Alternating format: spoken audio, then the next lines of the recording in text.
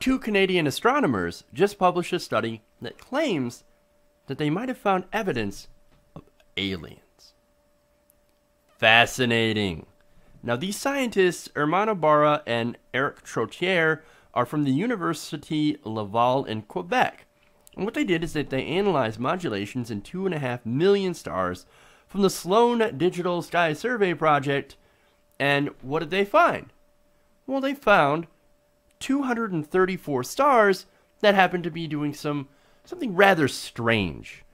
Um, let me get into that. In fact, uh, the study says these stars were doing something strange, almost as if there were it, it was on a pattern, as if it was some sort of signal. Interesting. Now, this theory uh, is helped out by the conclusion of an earlier study, yes, by the same person, um, that found that those 234 signals perfectly match the shape of an extraterrestrial intelligence signal. Now, look, I gotta admit, this was the previous study by one of the same people, one, by one of the same authors of this new uh, study that found these signals. So, a little bit of a grain of salt here, a little questionable, but look, I'm still I'm still hoping against hope, right? I'm still I'm still on the side of hope. Now, also working in these researchers' favor is the sheer uh, specificity of the sample. 234 stars out of 2.5 million were emitting this very specific signal range, something that fits, of course, into previous ETI models.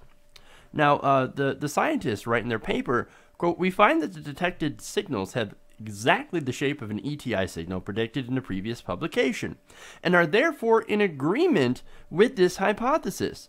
The fact that they are found only in a very small fraction of stars within a narrow spectral range centered near the spectral type of the Sun is also in agreement with the ETI hypothesis. So basically, to break it down a little bit, they looked at stars that were similar to our Sun the similar spectral type. Now, ours is a normal G type star and about the middle of its life. It's about 4.5 billion years old at this point. So, they looked at stars that are similar to ours. Now, what, what is our star? What's special about our star? Well, we're far enough away from our star and it's stable enough to have life to develop on Earth, to have Earth like planets around it. So, it seems pretty possible more like probable that there are other star systems out there that have a star that, that have a star uh, like ours, like our sun, to have rocky planets around it in, in in a range where they could have liquid water and therefore have life a little bit like ours, or maybe a lot like ours. We don't know. It's fascinating. So, anyway, their methodology now, when I talk about spectral stuff, right, the spectral type, here's what I mean. Basically, what they did is they found that these charge, uh, that these stars were changing color slightly, right? So this is what they were looking at. They were in our spectrum, but they were changing color. Now they looked at that, and they looked at the pet uh, uh at, at these uh, at the times that they were changing this color, this pattern, and well, they found a pattern there, and it was a repeatable pattern. Now, one of the possibilities that this paper is putting forward is that somehow an alien civilization is manipulating these normal stars that would be like our sun into doing these color changes in a pattern in order to send a message. What that message could be, I don't know. And frankly, I wouldn't understand why you would want to send out a message like that. Then again, if you were a powerful alien civilization, why the fuck not? I don't know. Now, look, even with this, I wouldn't get out your welcome ET signs, okay? Because, look, the scientists do explain that there are other explanations that are possible for these strange signals. For example, uh, something they called rotational transitions in molecules. I have no idea what that means. Or rapid pulsations. Okay, not sure what that means either. Uh, or even the unusual chemistry of a small group of galactic halo stars.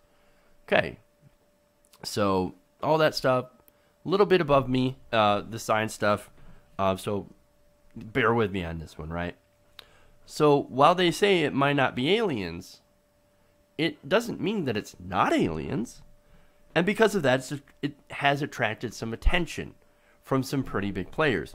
Now, uh, one of them is the Breakthrough Listen Initiative. Now, let me explain what that is. It is a $100 million program aimed at looking for intelligent life in space. Now, they're looking into the study, and they're, they're looking into the research, and they're saying, we're, we're going to have a closer look. We're going to see if, you know, if we can debunk this, or if what you're saying is, or, you know, what you're saying is actually true, that there might be aliens out there manipulating the signal, but we got to rule out everything else first. Now, this initiative is headlined by Stephen Hawking and Facebook's Mark Zuckerberg. So you got some pretty big players paying attention to this. Now, in a statement, Breakthrough Listen said, quote, extraordinary claims require extraordinary evidence. It is too early to unequivocally attribute these purported signals to the activities of extraterrestrial uh, civilizations. Internationally agreed upon protocols for searches for evidence of advanced life behind Earth, uh, beyond Earth require candidates to be confirmed by independent groups using their own telescopes for all natural explanations to be exhausted before invoking extraterrestrial agents as an explanation.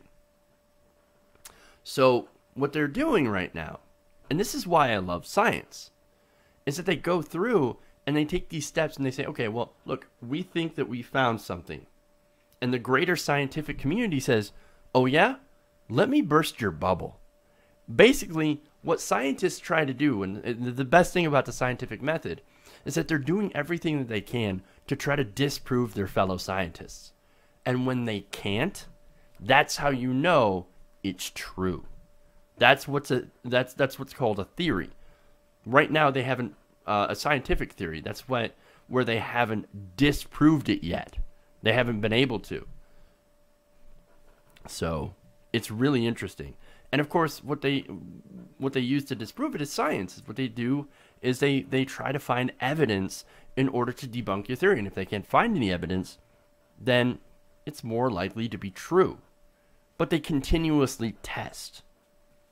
And so, look, in, and even though we don't have any evidence that proves or disproves this,